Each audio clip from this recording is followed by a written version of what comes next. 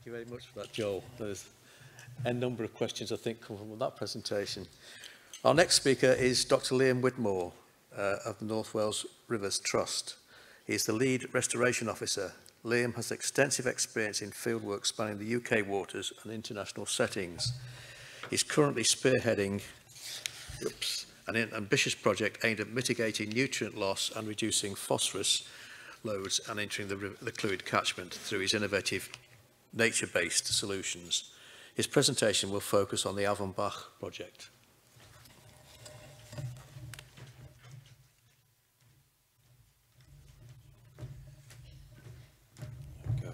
Uh, hi everyone. I'm not used to a microphone. Um, I'm Liam, so I'm part of the river restoration team for the North Wales Rivers Trust. Um, and today I'm going to talk to you about environmental DNA um, what it's good for, and with particular emphasis on a case study that we've done in a catchment on the Clwyd um, called the Afon Bach. So I'll just outline my uh, presentation. So I'm just going to cover a bit of my background, sort of why I'm qualified to, to talk to you about all of this.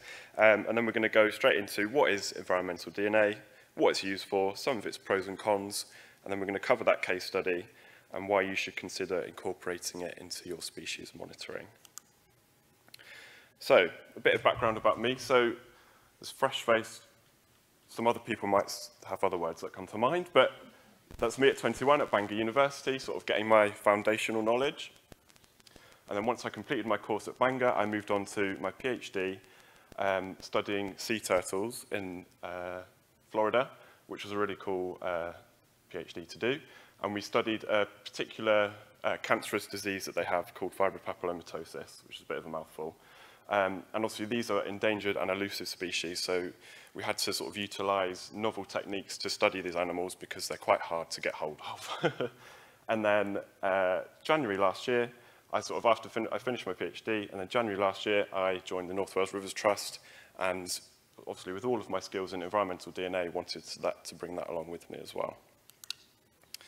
So what is environmental DNA? So all animals who move through and interact with their environment leave traces or fragments of DNA behind, and that can be uh, in the source of fur, hair, urine, feces, saliva, skin, anything like that will leave DNA behind in the environment.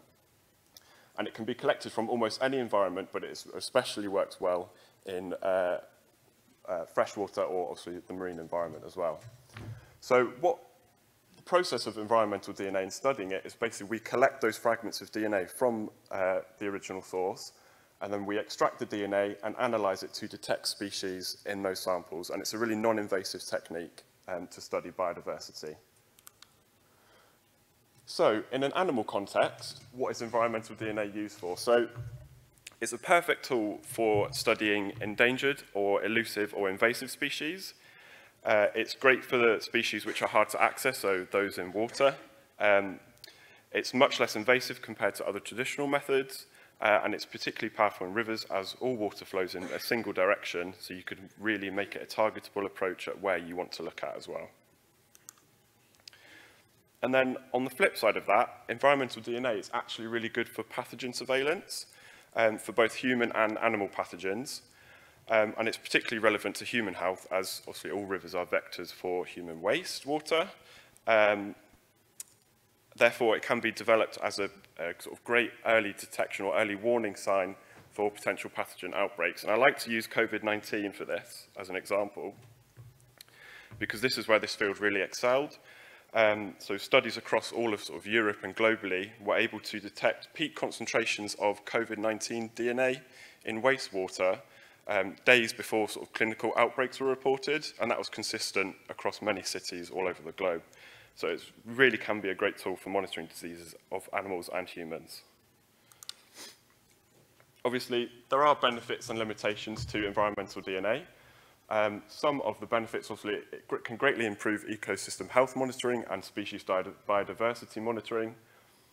Um, and it's great for sort of getting um, the whole picture of an ecosystem in terms of species composition compared to traditional methods. But obviously there are some limitations. Um, it can't give you sort of population uh, uh, estimations or anything like that. Um, and there are sort of uh, imperfect detections that can occur. So we move on to the case study um, that I'm going to talk to you about today. So this is focusing on the Afon Bach, which is a small tributary of the Clwyd. Um, and you can see the Afon Bach catchment is in the red box on both maps. So in 2009, the WFD framework um, assessment actually gave the Afon Bach a poor score, which would be an orange colour.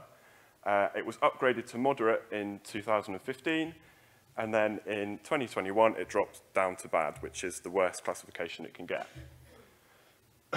so if you look as well, it's a nice comparison. So between 2015 and 2021, you can sort of see the Clwyd catchment just outside of this yellow square. Um, in 2015, the catchment was looking quite good. It was either good or moderate. Um, but then in 2021, you can see there's a lot of um, degradation that's occurred um, or decline.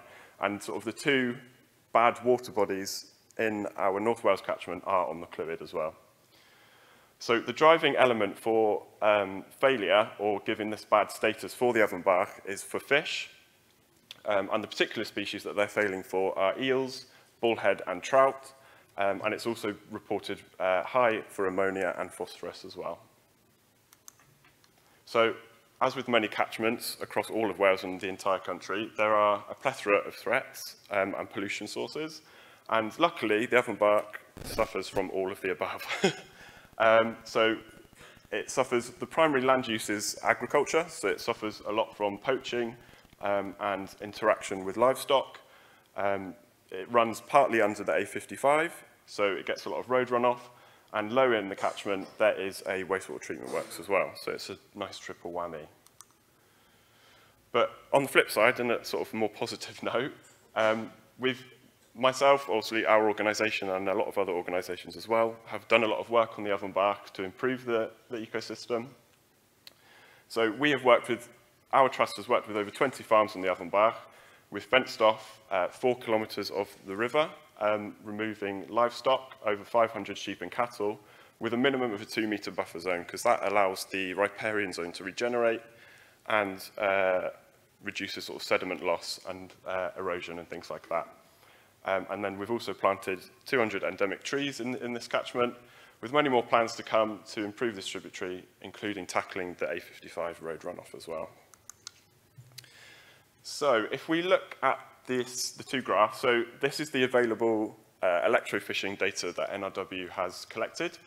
Um, the right graph is a bit hard to see, but that's just um, separated into individual species.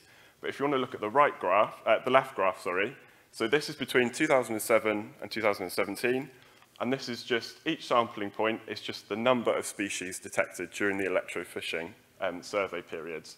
The uh, bar in the middle, which is a different color, is a slight outlier because it's taken from a slightly different location. Um, but you can see, so the, the bar on the left up to the yellow bar is from 2007 to 2011. And you can see between four and six species um, were detected during the electrofishing surveys on the Afon Bach. And then the two bars on the right are uh, 2015 and 2017. And you can see that only two species of fish were detected during those surveys. So yeah, quite a decline in, in those surveys. So because it's a, a quite a degraded uh, habitat, and because of the decline in species detection during the electrofishing surveys, we wanted to focus some of our baseline environmental DNA analysis on this catchment to really see what actual species are present. So just to sort of give you a bit of uh, um, orientation. So the red line is the Afon Bach, the blue star is where the local wastewater treatment works is located, and the orange fish is where we took our eDNA sample, um, which is the same location as the NRW electrofishing survey um, site. Um, and I'll just briefly glaze over this. Um, so this is sort of a very simplified method for eDNA analysis. So you would collect your sample from whatever environment that you're wanting to look at, and in our case, the Avon-Bark, which is a tributary of the Clwyd, and you can analyze the eDNA in a couple of ways. So you can either do it through a more digitized method, which is sort of my area of expertise, or more of a lab-based method. But ultimately, you can get the sort of same or similar outcome um, which can be either sort of community assemblages, so the entire sort of species composition of those sites. It can help with biodiversity surveys, impact assessment. Um, it can help, obviously, detect invasive, rare, or new species. Um, it's great for pathogen detection as well and for helping out uh, understand food webs. So this is what we found. So this table here is um, so we've got all the species on the left. So we analysed all the vertebrate DNA present in our eDNA sample. Um, the second column is the number of reads, so that's the amount of DNA, DNA fragments present in that sample. And then you've got the IUCN red list uh, classification and whether the species is invasive or not. So if, we, if I go back to, so the 2015-2017 um, electrofishing for fish only found two uh, species in each of those sampling times. But from our one non-invasive um, environmental sample collection, we were able to detect six species of fish. So the Eurasian minnow, brown trout were even in there, which was really surprising. Uh, the three-spined stickleback, European bullhead, uh, the critically endangered European eel, which was good to see, um, and the stone loach. And we were also able to detect uh, four species of bird, which interacted with the watercourse, uh, one amphibian species and four species of mammal, obviously two invasives, the brown uh, rat and the grey squirrel. Um, so just to mention, so just to highlight that this isn't a sort of indication that the watercourse has improved at all. Um, we've done a lot of work in the last year, but we won't see those benefits for a long while to come. Um, but this sort of just highlights more the sensitivity of uh, at species detection of this method. So yeah, so what does that mean for um, Wales and sort of the uh, applicability of eDNA across rivers in Wales? So it's a highly sensitive tool that's able to detect endangered, elusive and invasive species um, with a potential to discern entire sort of species compositions from a single sample. It's a great tool for monitoring both human and wildlife pathogens uh, with an early warning sign, um, being, it can be an early warning sign for disease outbreaks. The benefit of rivers is that everything flows in one direction, as I mentioned earlier. So it could really be a great way to target particular areas of interest. Um, and it's also especially applicable to those hard to reach areas as well.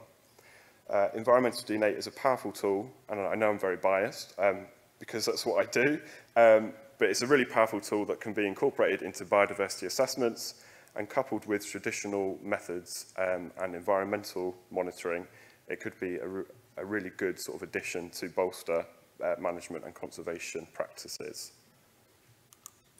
Thank you very much. Um, yeah, I'll answer any questions, I think, after the break. Yeah.